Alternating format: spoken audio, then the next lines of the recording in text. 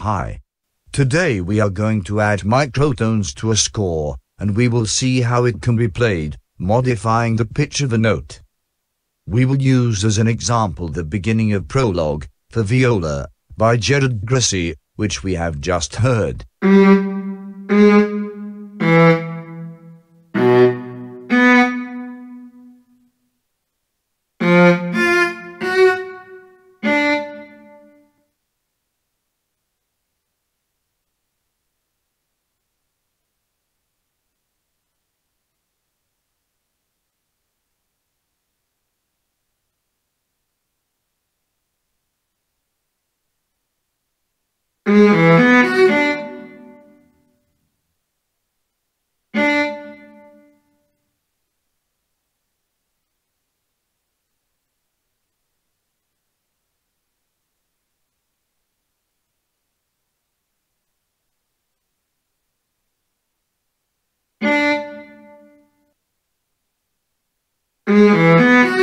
Obviously there is no effect on playback, but we are going to edit the note to achieve it.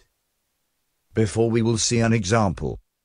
We will modify the last note of these four, a natural D, so that it sounds a semitone lower. But for this, we will lower its tuning 100 cents. Remember that 1 cent is equal to 1 hundredth of a tempered semitone, so if we lower the note by 100 cents, it will then sound one semitone down. MuseScore allows you to lower and raise the pitch of each note by a maximum of 200 cents, so if we lower that number of cents to the same natural D, it will sound one tone lower.